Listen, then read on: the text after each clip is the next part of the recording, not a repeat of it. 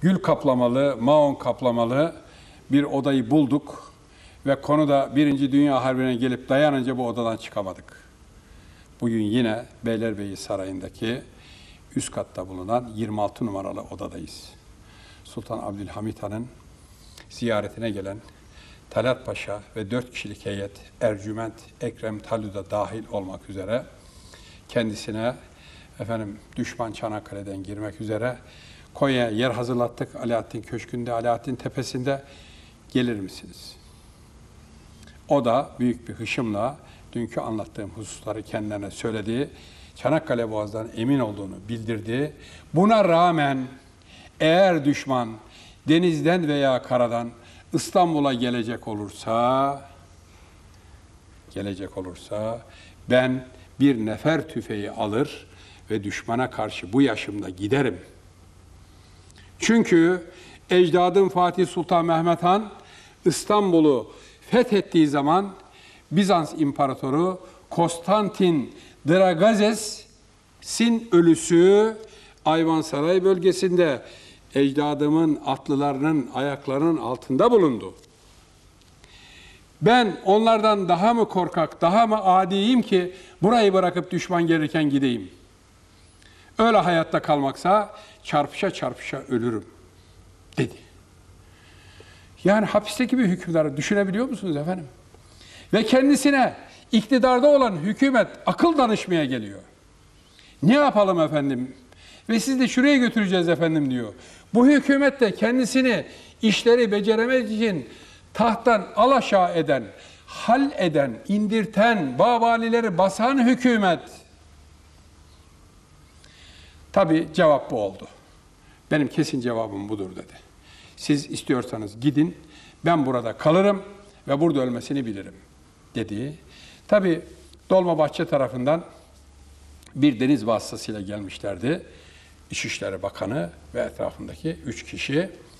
Tekrar o deniz vasıtasına bindiler. İşte vapur küçüğü bir vasıta, özel e, makam sahipleri için tahsis edilmiş vasıta. Kimsenin ağzını bıçak açmıyor efendim. Buradan çıktılar, gemiye bindiler, gemi hareket etti. Kimsede tık yok. Herkes ağzını açmaya korkuyor. Acaba suç mu işlerim diye. İçişleri Bakanı Talat Bey, sonra paşa dediler ama o sivil paşa efendim. Öyle bir e, askeri paşalığı falan generalliği yok efendim. Postacıktan gelmiş bir insan.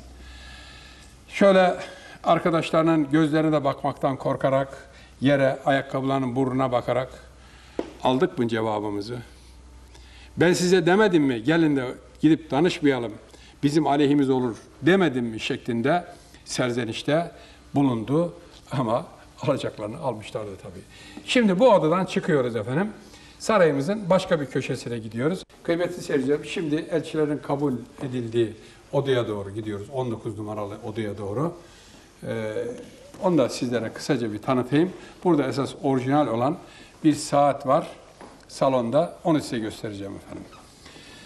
Şimdi elçilerin kabul edildiği oda burada 19 numaralı oda. Görüldüğü gibi buranın da her tarafı ağaç, maon kaplı. Belki de bu sarayın en aydınlık odası. Görüldüğü gibi burada çok nefis bir boy aynası var ama boy kere boy aynası gibi yani bu boy aynasının çok çok üstünde bir şey. Salona ayrıca bir aydınlık da vermiş efendim. Karşıdaki pencereden gelen ışığı yansıtmak suretiyle hem derinlik vermiş hem aydınlık vermiş. Aynanın iki tarafında da cami mihrabına benzer şekilde e, böyle e, nişlerle süslenmiş mihrapçıklar konmuş. Efendim, bir tane de şu köşede var. Bunları da birer vazoyla doldurmuşlar. Şöyle vazoyla doldurmuşlar. E, güzel bir avize var salonda ve tavanda da iki tane e, dualar yazan kitabe var. Şimdi buradan saatin bulunduğu salona geçiyoruz efendim. Son mekanı bizim sizlere anlatacağımız. Şimdi küçük bir odaya giriyoruz. Bu oda Abdülaziz Han'ın namaz odası e, diye geçiyor kayıtlarda. 19 numaralı oda olarak geçiyor. Burada yine yerler İskenderiye'den getirilen kamışlarla dokunmuş. çok nefis hasırlar var. Biz de doğrusu basmaya kıyamıyoruz yani buraya. Ama ne yapalım ki sizin daha iyi görebilmeniz için mecburen basıyoruz. Burada seccadeler var efendim. Üç tane.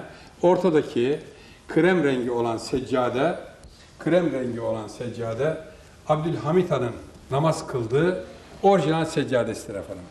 Bir de burada hoş bir mihrapçık yapılmış efendim. Ee, kıble tarafını e, belli etmek için konmuş. Bu odanın özelliklerinden birisi de kıble taraf duvarında Besmele-i Şerif, e, Ayet-i İhlas-ı Şerif ve Nasrun Minallah ayet-i kerimesi var efendim. Burada.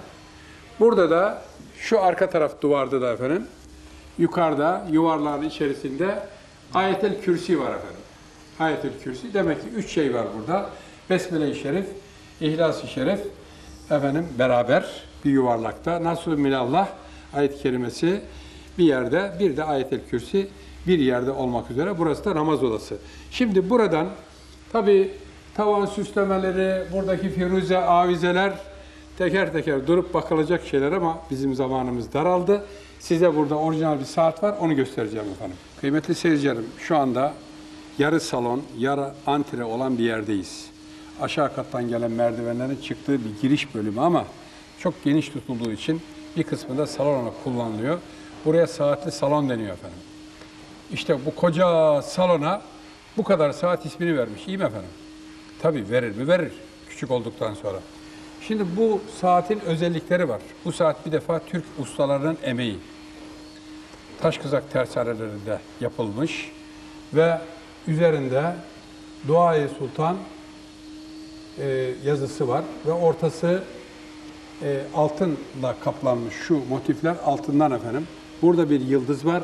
Saatin akreple yelkovanı 12'de yan yana geldikleri zaman ay ve yıldız olduğu için Türk bayrağı ortaya çıkıyor. Yani her 12'yi bulduğunda bir Türk bayrağı motifi ortaya çıkıyor. Bu saatin kenarlarında deniz kaplumbağasının kabukları kullanılmış efendim. Kakma olarak yani fil dişi yerine bu kullanılmış. Birçok yerinde de bu var buralarda gördüğü gibi. Bu saatin bir özelliği de 12 marş çalıyor her saat başında efendim. Bülbül Peştevi, e, Sultani Marşı ve 10 tane de Mehter Marşı çalıyor efendim. Günde her havayı iki defa vurmuş oluyor. İki defa 12 oluyor, iki defa 11 oluyor saat malum 24 saat içerisinde. Her saat başında bunu çalıyor. Biz bu sesi size dinletmek isterdik. Çok da güzel çalıyormuş.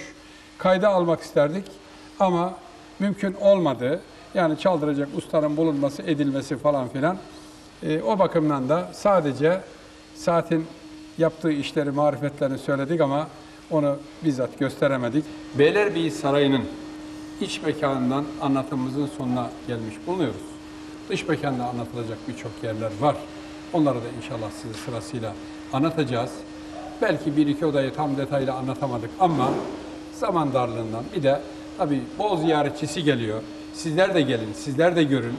Bize bu fırsatı veren Milli Saraylar Daire Başkanlığı ve ona bağlı olan bütün üniteler, Beylerbeyi Sarayı e, Müze Müdürlüğü'ne e, gerçekten çok e, bize kolaylık gösterdikleri için teşekkür ediyoruz. Türk kültürünün tarihinin de siz seyircilerimize anlatılmasına yardımcı oldular. Bu hizmette ortağız onlarla. Efendim bugünkü programımızda sonuna gelmiş bulunuyoruz. Beylerbeyi Sarayı'nın dış mekanlarındaki çeşitli köşk ve kasırları anlatmak üzere bir sonraki programda buluşmayı ümit ediyoruz. Hoşçakalın efendim.